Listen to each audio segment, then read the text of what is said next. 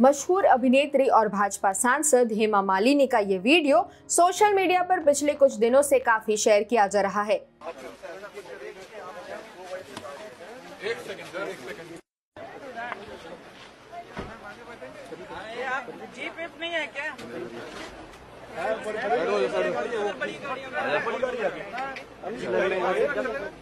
बड़ी गाड़ी है उसमें उस, बड़ी गाड़ी ले लो फॉर्चुनर के आपने।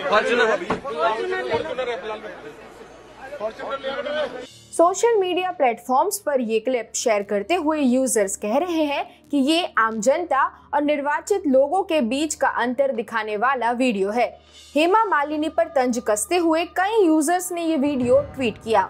वहीं मीडिया आउटलेट्स आईबीसी 24 न्यूज़ और भारत 24 ने भी ये वीडियो शेयर किया। ध्यान देने वाली बात यह है कि किसी ने भी इस वीडियो के बारे में ये नहीं बताया कि ये कहाँ का है और कब का है। वीडियो को ध्यान में रखते हुए जाँच करने पर हमें ये वीडियो साल 2014 में पोस्ट किया हुआ मिला। यहाँ इतना तो साफ़ हो जाता है कि ये हाल का वीडियो नहीं है। हिंदुस्तान टाइम्स ने भी उस वक्त इस वीडियो के बारे में ये खबर पब्लिश की थी और बताया था कि हेमा मालिनी ने इस वीडियो के वायरल होने के बाद अपना पक्ष रखा था। हेमा मालिनी ने 17 अक्टूबर 2014 को ट्वीट करते हुए बताया था कि जनता से बेहतर तरीके से बातचीत करने के लिए और सुरक्षा कारणों की वजह से उन्होंने बड़ी गाड़ी की मांग की थी। यानी हाल में हेमा मालिनी पर निशाना साधते हुए शेयर किया जा रहा वीडियो असल में 10 साल पुराना है।